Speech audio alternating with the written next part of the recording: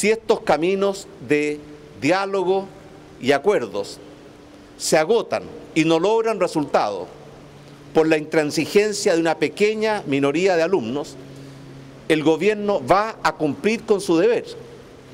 va a cumplir y hacer cumplir la ley. No vamos a permitir que una pequeña minoría, saltándose la ley, pretenda usurparles a los 13 millones de ciudadanos chilenos su derecho democrático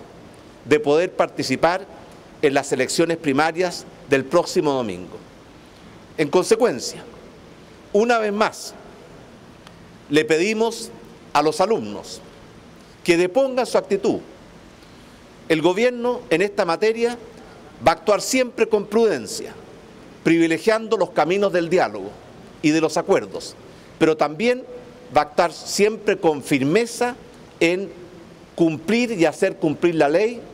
respetar el Estado de Derecho y asegurarles a 13 millones de chilenas y chilenos que puedan ejercer su derecho a votar y participar en las elecciones primarias con la tranquilidad y con la paz que ellos se merecen.